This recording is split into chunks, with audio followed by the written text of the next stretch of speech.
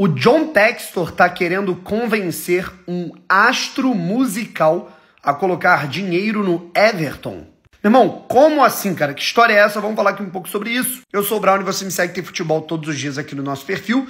Não é de hoje, né, que a gente já vem informando que o John Textor tem interesse em adquirir o Everton, equipe da primeira divisão, tradicionalíssima equipe da Premier League da Inglaterra, rival, né, cara, o grande arquirrival, né, cara, do Liverpool, apesar de não estar em grau amplamente competitivo nos últimos anos. É justamente isso que John Textor quer, né? Unir o útil ao agradável. John Textor hoje é acionista minoritário do Crystal Palace quer ter mais autonomia num time da Premier League. E para isso ele quer deixar a sua ação no Crystal Palace ser o acionista majoritário de um clube como o Everton, que é até um clube maior do que o Crystal Palace. E para isso, cara, ele está coletando investidores, né, para chegarem juntos com ele. E um desses investidores seria o cantor americano Jay-Z, com uma fortuna estimada em quase 3 bilhões de euros. E dessa forma, John Textor queria tentar convencer o astro americano a colocar essa grana no Everton por uma nova potência no futebol inglês.